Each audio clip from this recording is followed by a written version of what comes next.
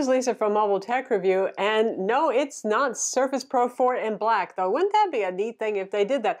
This is a Dell Latitude, the 5285 to be exact, and this is obviously their Surface Pro 4 competitor. And uh, it has a couple of familiar features, like a kickstand that has that much travel on it, a 12.3 inch display, a type cover, just like Surface Pro 4. So why would you buy one of these instead? We're going to find out now. Well, the resemblance is uncanny, isn't it? So for those of you who, when I reviewed the Teclast X5 Pro, which is another Surface Pro 4 clone, this one a Chinese import one that's around $500, you can see that they're not the only company that's doing that. And Microsoft doesn't mind because when they created the Surface products, what they wanted to do was to make Halo products that people would really want and to inspire designers of other competing manufacturers really to make really good looking designs too because Microsoft wins no matter what. If Windows PCs sell they make money, right? So they're okay with it. But nonetheless, it, it's kind of like know, you got to say that intellectual property wise here, we don't give as much cred to a company that is doing straight out copying. So just about the same thing. So why does the Dell exist? Because Microsoft doesn't update their products very often. They're not really in the PC hardware business so much as just making Halo brand devices every so often.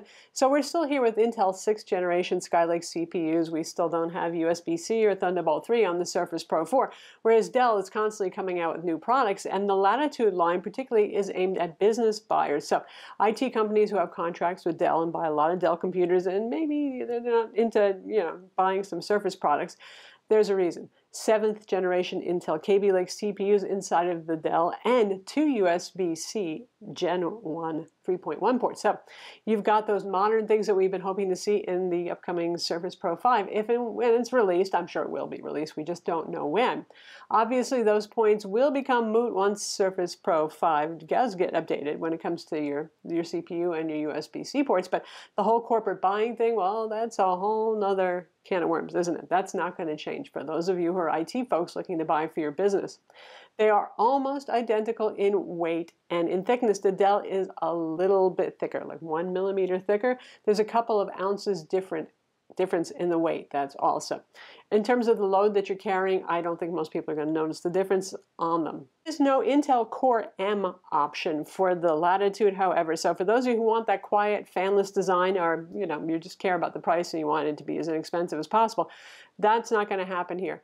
Pricing, however, is set for obvious parity with the, the Surface line. So this Latitude starts at 899 and that's a Core i3 there, that's on your base model. And it goes all the way up to around 1688 for a nicely equipped Core i7 with 16 gigs of RAM and a PCIe SSD inside, and there are different models in between. The two cheapest options, however, don't come with the keyboard cover, which is a Surface type cover clone, or with the pen. The more expensive options do. And then from there, you can customize these so you can get even more expensive. In fact, our review loaner, which has just about every feature possible, and a 512 gig PCIe NVMe SSD, sells for almost $2,000. You can get it with 4, 8, or 16 gigs of DDR3 low power RAM inside. There's no 32 gig option, and it's one of those sealed designs. So you're not going to open this and upgrade the RAM, and I'm sure the RAM is soldered on board. Though the website lists Qualcomm Atheros Wi-Fi, ours has Intel 8265AC Wi-Fi with Bluetooth, and there's optional LTE 4G as well, and WiGig also. Tablets like this have integrated graphics. You have Intel HD 620 graphics. There's no Intel Iris option, at least not at this point. That's something that Surface Pro 4 was doing on the highest end SKUs. These are, of course, 15 watt Ultrabook CPUs, the same thing you'd find in any Ultrabook or your more powerful tablet, obviously, too. So faster than the Core M, indeed. Has a fan inside, yes. Will you hear it? Most of the time not, but if you're pushing it on something like uh, big Photoshop files, Adobe Premiere, or playing a game, you will hear them. It gets toasty on the back, it doesn't get burning hot, and you can see our little FLIR pictures here, our thermal pictures give you an idea of the temperature on it. Given the corporate focus, we have some CPU options that support vPro also. You can get the i5-7300U and the i7-7600U, in addition to the usual 7200U Core i5 and the 7500U Core i7. Security is also a focus again for corporate buyers. So there's different back covers on this. Now, I don't think they mean that as a removable back cover, but there's different builds you can get. Ours doesn't have any of the biometrics built into the backside, but you can get it with a fingerprint scanner, a smart card reader. Yes, remember those, they still do get used, and NFC for NFC based security too. It's $40 over the base price if you want the smart card and fingerprint and NFC together, 35 bucks if you want one does everything but the smart card reader. Now the keyboard cover on this is pretty much a clone of the Surface type cover, except for this has a rubbery texture versus the suede finish on the Surface cover. Uh, the only choice in colors is black. It's corporate, you know, you're not going to get those fancy, zingy, crazy cyan blue type cover finishes. It feels almost identical. And you know what? I like the Surface Pro type cover, so I get along with it just fine. I, and the, the rigidity is the same. I think it's pretty adequate. You're going to hear a little bit of vibration sound when you hit it on the desk. The trackpads are just about identical as well, and it has backlighting too. And it attaches via, well, what a surprise, just like Surface, a magnetic pogo pin connector like so to the bottom. This one has little feet that stand the tablet up a little bit, which doesn't really, to me, make much of a difference either way in terms of actual use. And the back side is a kind of, well, know, tweedy sort of look. It's a fabricy sort of wipe, wipe it and clean it fabric on the back. So the kickstand on this opens all the way up. When you first pop it up, it springs to about that level. So anything here, it pretty much wants to start at that angle. And then it goes up and you feel resistance, but keep going. It's just these get stiffer. And the idea is so that when you put it on the desk, there's enough resistance to stop it from collapsing when you're writing on. It's yeah, it's kind of strong enough to do that. Depends how heavy your hand is, and it can go as far as this. So if we put it on the desk, it's like so. That's the farthest point. Obviously, it's going to be very sturdy there. And let's go like that. And yep, you see what I mean? So you can't have too heavy hands. Surface is a little better at holding up. But at this angle, eh, well, yeah, you get the idea. It's a tough design, isn't it, to do that? But th this angle is pretty good right here. And that is very good because you've got physics in favor of keeping it up pretty sturdy there. But I don't think most people at this angle of use are going to be too heavy. It's only when you start to open it up that you have that pro problem. It sagged on its own. While we have the flap up, not unlike Surface Pro 4. Again, here is our micro SD card slot. This is a little door. You push it in, you will assuredly lose it. And there's optional 4G LTE, and the nano SIM card slot would go there. We don't happen to have that on our model, so that's where those are. The display is 12.3 inches and it's IPS. It's 1920 by 1280, not 1080. So that makes for the same 3 by 2 aspect ratio as Surface Pro 4. However, it is considerably lower resolution because Surface Pro 4 is 2736 by 1824. Dell makes up for that though with even higher brightness than Surface Pro 4. Now Surface Pro 4 is pretty bright at around 384 nits, but Dell hits 499 nits of brightness. So for those of you who are vertical market folks and you need to use this outdoors, uh, real estate agent, insurance, that sort of thing. Well, that's really a good selling point. It's Gorilla Glass 4. It has glare, obviously, but not too terribly bad. For those who care, it's a BOE Hydis made display. It doesn't look quite as gorgeous and as vibrant. It's not just a out the resolution there compared to Surface Pro 4 that has just slightly better color gamut but way higher contrast ratio and is one of the more stunning displays on the market, that Surface Pro 4. This one's still pretty nice. You get 95% of sRGB, for example, and 73% of Adobe RGB, which is in keeping with the price range. You can see the rest of the metrics there on screen. The only thing that was kind of shocking was the screen temperature native was 8200 Kelvin, which is extremely high, but it calibrated down pretty well. And what that means is it tends to look a little blue-green if unless you calibrate it. So the port story is a little bit more modern here. We have two USB-C 3.1 Gen 1 ports. They both support DisplayPort out. They have that logo on the side to give you that idea. One of them you may have to be using for charging, depending on whether you need to plug this in or not. So uh, of those two, one is obviously always available. The other is only available when you're not charging. Of course, there are splitters on the market that will split and include charging in USB Type A and DisplayPort and HDMI and Ethernet. Just about anything you want these days is available. It also has a traditional USB 3.0 Type A port on it, and of course a headphone jack as well. So a little bit more modern than Surface Pro 4, and that's a plus. Also has stereo speakers, decent sounding for a tablet of this size, uh, certainly adequate for watching movies in a personal space. Battery life, Dell claims up to 12.5 hours.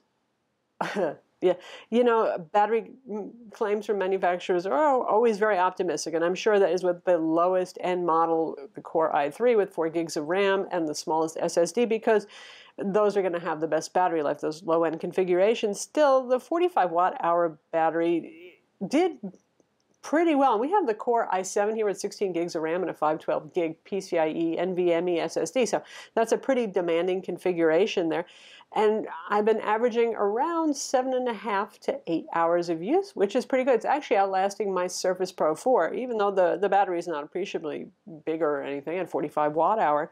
That's what brightness set to 30%, only because the display is so bright to, that to equal 140 nits, which is where we try to be with testing, well, you have to go down to 30%. It's bright. It does have automatic brightness. That's a feature that's happily been disappearing from tablets and laptops, and I found it too twitchy. I disabled that. And even then, I saw some brightness shifting. It was driving me crazy when I was trying to draw with it, so I had to disable Intel's display power management as well to get rid of some of that shifting. Comes with a compact 45 watt USB-C charger and they'll sell you a 65 watt if you want for $3.50 more. I don't know why. Maybe a little bit faster charging. It does support express charge, including the 45 watt charger, and it does charge pretty quickly. Full charge on this battery in about two and a half hours in our test.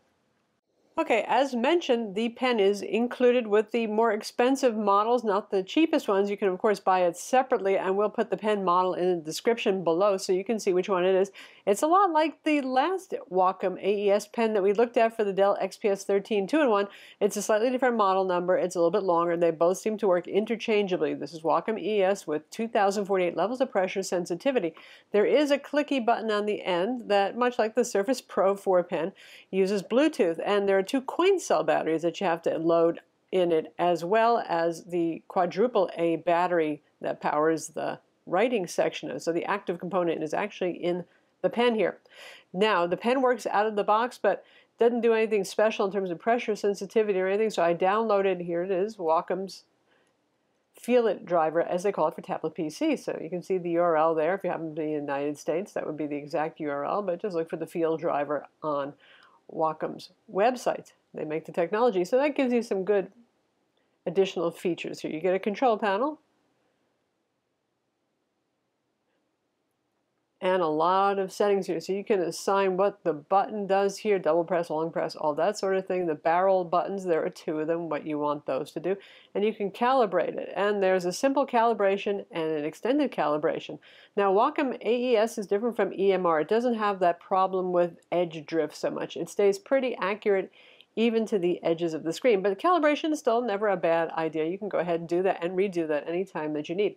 There is pressure sensitivity. It's fine for OneNote. I mean, any tablet these days is just fine for taking notes. But you can see there I'm having problems with palm rejection not working really well on this. And that's weird because usually Wacom AES works pretty well. In fact, I sometimes like it a little bit better than N-Trig because it has lower initial activation force. You don't have to press as hard to get a line on the screen is what that means. I find that I really do have to rest my hand against the glass first so I can tell the difference between my hand and the pen.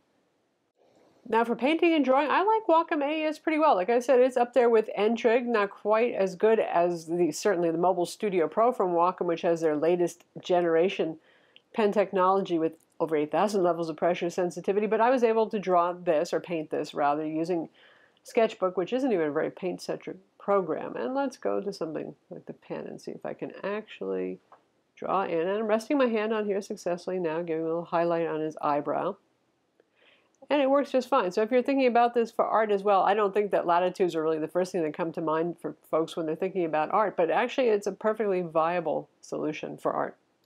So that's the Dell Latitude 5285. Not exactly a household name the way Surface Pro 4 may be among at least tech enthusiast types, pen-loving people, all that sort of thing. So what would be the reasons to buy this instead of Surface Pro 4? Other than the fact that Surface Pro 4 had driver teething pains when it first came out due to the Intel Skylake chipset having teething pains, really, with Windows 10 in conjunction. Uh, this one has an Intel 7th generation CPU inside. We're still waiting for that for Surface Pro 4 to happen. This one has two USB-C ports. Yay! So Surface Pro 4 currently has none. Uh, I think a real deciding factor for a lot of you is going to be because your company already buys Dells, and everybody who wants a Surface Pro 4 kind of device can get one of these instead because your company has a contract with Dell. There are a few more security options available, like the smart card reader and the NFC-based security, so some corporations care about them. Those would be the reasons, and obviously some of them will be moot because at some point, we don't know when, Microsoft will update Surface Pro 4 to Pro 5, and I'm sure it'll have 7th gen CPUs by then, probably will have USB-C, maybe even Thunderbolt 3, though it's pretty hard to fit Thunderbolt 3 in a design this small, so mm, likely not so much there. I'm Lisa from Mobile Tech Review. Be sure to subscribe to our YouTube channel for more cool tech videos and thumbs up if you like this vid.